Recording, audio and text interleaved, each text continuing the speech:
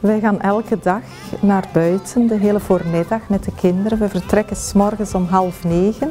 Dan wandelen we naar het bos en dan zijn we daar de hele voormiddag.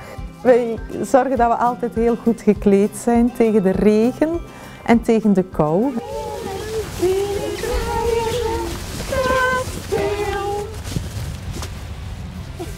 In de buitenklas krijgen de kinderen heel veel kans om te bewegen, te lopen, te rennen, te huppelen en in een, in een grote vrijheid.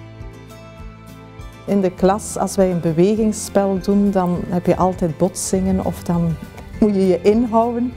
Maar buiten heb je pas het gevoel dat je echt vrij kan bewegen. Kijk jullie, dan mag je zin maken. Ga je ook stukjes afkraken?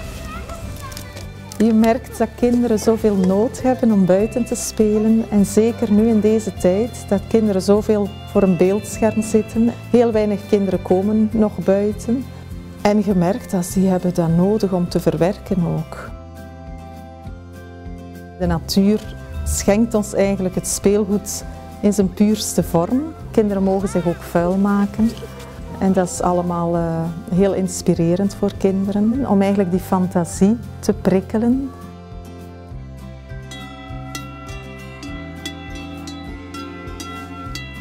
Je zit midden in de natuur en je moet de natuur niet naar binnen halen. Uh, elk seizoen brengt zo zijn bijzonderheden met zich mee. En dat is zo fijn dat zo rondom jou gebeurt, rondom de kinderen.